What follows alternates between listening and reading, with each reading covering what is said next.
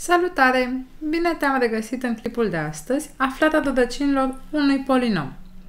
Înainte de toate, vreau să-ți spun că dacă tu ai ajuns pe canalul meu de YouTube și acesta este primul clip pe care îl vezi sau ai căutat direct această lecție, mai întâi va trebui să urmărești lecția forma reductibilă a unui polinom, deoarece rădăcinile se bazează exclusiv pe forma reductibilă a unui polinom.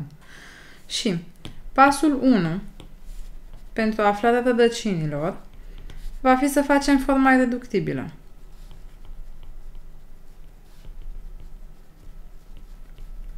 Ca să fie mai simplu, o să-ți las în descriere un link către clipul respectiv.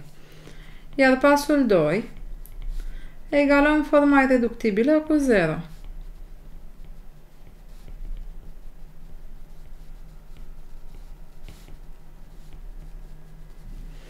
Și eu o să iau aici forma reductibilă din clipul anterior, f egal cu x minus 1 pe lângă x plus 1 pe lângă x plus 3 și cerința noastră este să se afle rădăcinile polinomului.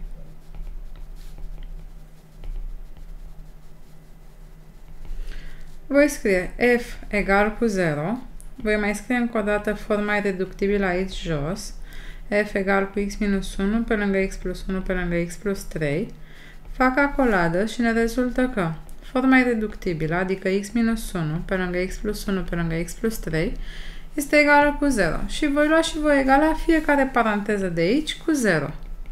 Și ne va rezulta x minus 1 egal cu 0, rezultă x1 egal cu 1, x plus 1 egal cu 0, rezultă x2 egal cu minus 1, x plus 3 egal cu 0, rezultă x3 egal cu minus 3.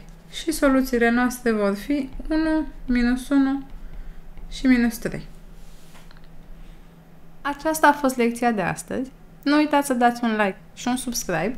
Ne vedem data viitoare!